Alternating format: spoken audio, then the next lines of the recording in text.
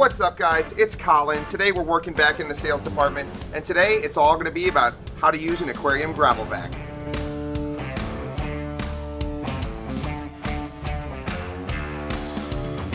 Alright, so let's get into it. So you're going to need a few things. Obviously you're going to need a aquarium that's ready to go.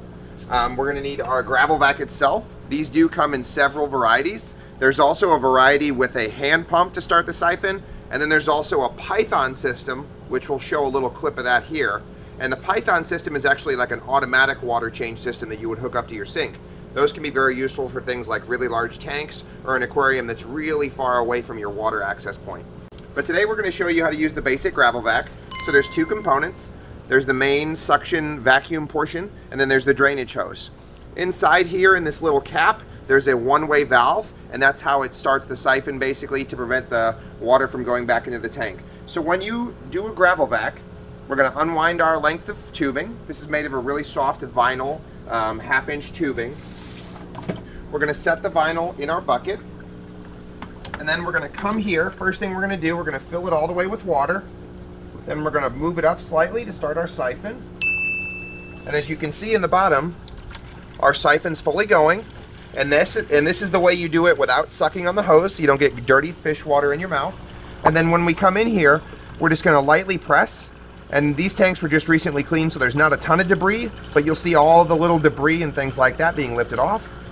And then we just wanna move periodically around. You'll see some of that more debris coming up. And this is not only gonna help uh, take out any dirt or detritus, but also as a secondary effect, by cleaning this way, it's gonna help to remove our nitrates. So all that uneaten waste and fish poop in the bottom of the tank is going to get sucked right up in our gravel vac. And a way you can stop this if you have a small tank, so if you want to stop the flow, you just pinch and it reduces the flow. This way you're not sucking out the majority of the water in your tank, especially if you have a small tank like a 10 gallon tank. You're definitely going to want to pinch in between your rounds and then when you're ready, open her back up and flow begins immediately.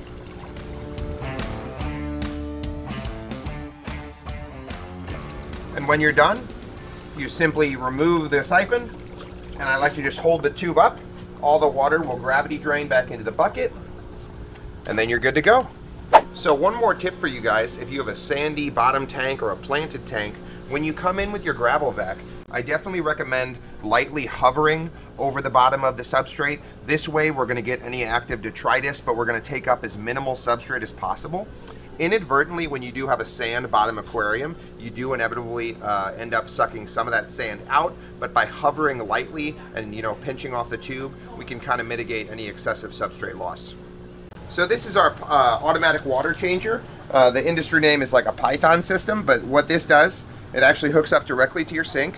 So as long as you have a standard kitchen sink or a bathroom sink where you can get uh, to a water source, and then uh, you have a 25 foot hose, and you have two valves. So basically, to start the siphon on this particular unit, you'll run your sink and turn the valve one way. That'll cause suction. It'll basically automatically start to drain water into your sink instead of having to deal with a bucket. Um, you can also use this on an external hose outside your home or whatever if your tank is close enough. Um, and this one uh, includes a 25 foot hose, so it works decently far away. They also do make extension kits for these. You can get them up to 50 feet, 75 feet um, if you have a tank that's really far away from your water source. But if you do a lot of water changes or if you have multiple tanks, this is definitely a great option for you.